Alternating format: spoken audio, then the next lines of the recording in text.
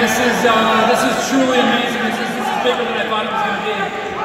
It's a surreal moment, actually, for me. I mean, uh, five years ago, I watched Edge get inducted into the Hall of Fame, and I knew that, that, that this day would come for me someday. You know?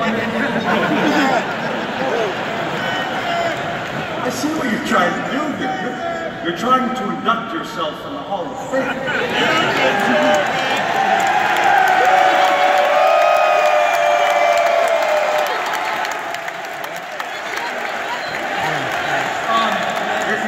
Going to the Hall of Fame, you're inducting. Again.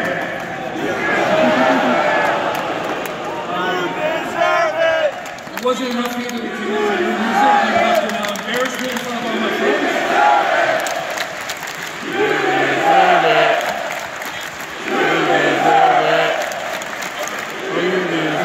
Okay, listen, I to wasn't going to my, into business for myself like I normally would. What I was going to do is say it's a surreal moment that the day has come that we get to induct the greatest